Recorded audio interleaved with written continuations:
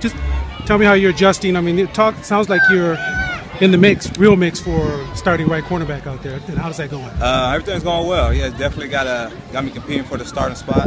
Uh, I wouldn't want it any other way. I want to earn what was given to me. So um, we got some great competition on this team, man. Um, the real competition though is within myself. I got to be my best and um, do what I have to do, and I think everything will go well. When you look at what is it that that uh, you not just the experience, but in terms of technique, learning how to play the.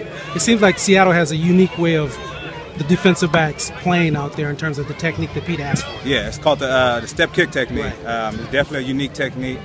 Uh, you're starting to see more and more people trying to pick it up because uh, we do so well at it. But uh, it's, it, it's something that you work on every day. It's like golf.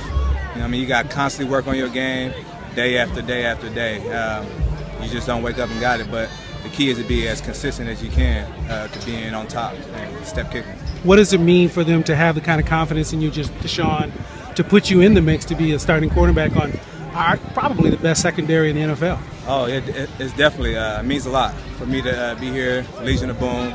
Uh, I would say the, the, best secondary in the NFL to be competing for that starting spot.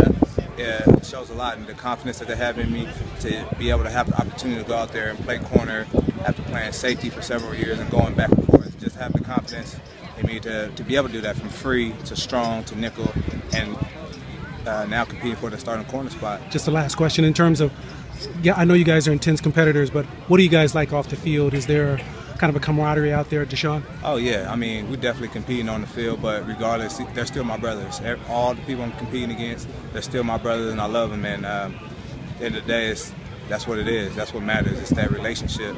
Uh, because if something happened or anything happened, the next person we're gonna have the next man's back. So uh, that's what it is. We brothers. Thanks a lot, man. Yes, sir. Good luck to you out there.